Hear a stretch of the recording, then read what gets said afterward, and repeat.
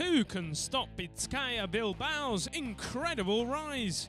Basketball fans, we are talking about a team that was founded only in 2000, whose run started from the Spanish third division, and last season the Black and Silvers reached the Spanish finals for the first time ever, surrendering only to the powerhouse of Regal FC Barcelona, but gaining the chance to play their first EuroLeague campaign of their history.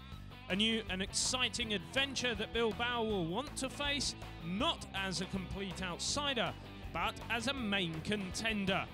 This summer, the Spanish club signed three big names, all gifted with a lot of experience in the competition. Guard Roger Grimau, the legendary captain of FC Barcelona, where he'd played the past eight seasons. Raul Lopez, the former starting point guard of Khimki Moscow region, and before Real Madrid. And finally, D'or Fischer, the centre who's blocked more shots over the past three EuroLeague seasons than any other player, who arrived from Real Madrid.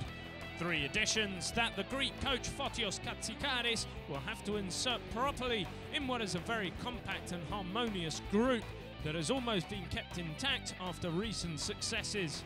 So at point guard, Raul Lopez's backup will be Janis Blums. At spot two, Grimau will divide the playing time with the explosive Aaron Jackson. At small forward, all the attention will be on Chris Warren and Alex Mumbrú, another old pillar of Real Madrid. At power forward, the stage is set for Marko Banic in his seventh season with Bizkaia, who was named Eurocup MVP in the 2009-2010 campaign, and Axel Hervelle. Yes, that's another Real Madrid old face.